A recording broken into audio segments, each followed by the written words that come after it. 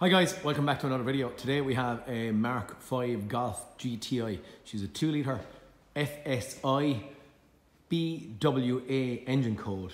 We have a DSG gearbox inside in it and what I'm doing today, it's quite simple, quite easy, but just sometimes you, like us all, I'd get caught on them. I wouldn't know the procedure.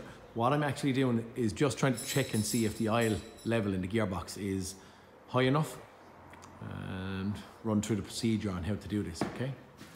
So guys, at this point in time, the car is running and I have the drain plug taken out of it and I don't have any oil coming out this hole. So we're going to get it and we're going to pump some oil back up into it.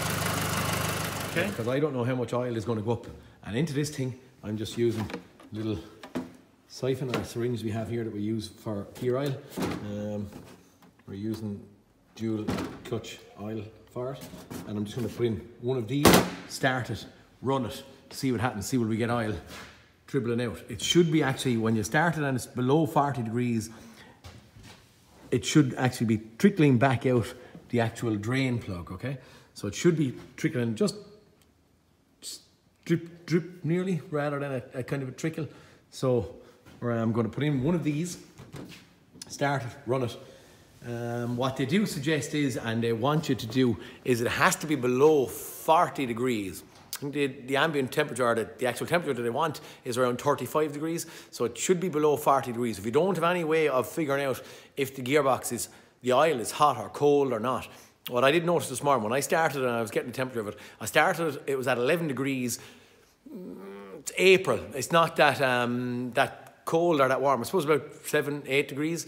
Um, ambient air. The oil temperature was at 11. I started it, I left it idle for maybe three or four minutes, five minutes, and at that point, it was starting to get warm. They do, I think, like it between 30 and 40. That's the, the, the gap for where the oil temperature should be. So if I was giving anyone a tip, start it, run it for three or four or five minutes, and if you don't have scan tools, and then check to see. Car, car running, pull the sump plug out, and as you'll see, we have no oil. With the little level sleeve that's up in the gearbox, I didn't take it out. And at this point, as I said there, I have the, it's not the easiest thing in the world, but I'm actually pushing oil back up and into that now so you can see where the level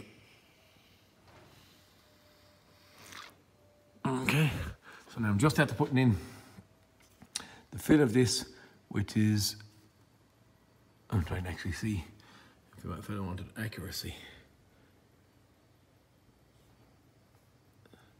As a quart. Yeah. I don't know. Is it? I haven't a clue. But anyway, the size of that syringe wouldn't be that big, but I'm lost on the size of it. Okay guys, I've just started and ran it. I probably spilled a little bit, so I have one or so drops, one or two drops coming out of but I'm going to put in another one of these. Okay, it's not coming back out the hole, so I'm going to go. Okay guys, I put in another one of these, so I put in a third one of these, and you can see it now, it's slowly trickling away back out.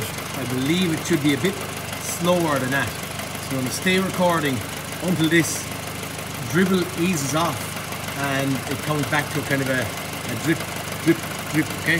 So kind of overfilling it and then coming back to where we should be actually starting to stop dripping out now. I'm nearly, I'm nearly happy at that point. You can see drop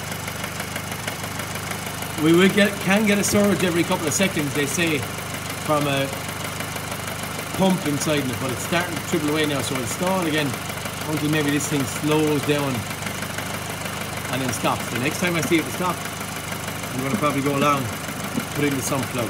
Okay? every 30 seconds, they say you can get a little spurge from a pump or so, you can see it stopped.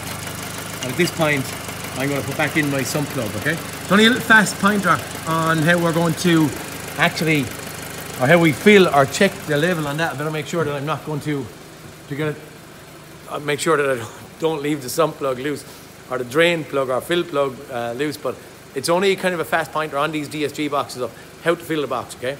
Not too hot, not too cold, below between 30 and 40 degrees, and when it's running in park, fill up here. All I'm showing is about a topping up, not a changing of the oil, not a changing of the filters or any of that crack. There's a procedure to run through to put into gears for a couple of seconds if you've changed the oil. Um, and I believe they take around four to four and a half litres of oil from empty drain to fill. New gearbox or new transmission being fitted, I think is around seven litres, right? Guys, hope this helped you some bit, and if, you, if it does, please like and subscribe, and thanks for watching. Talk to you soon.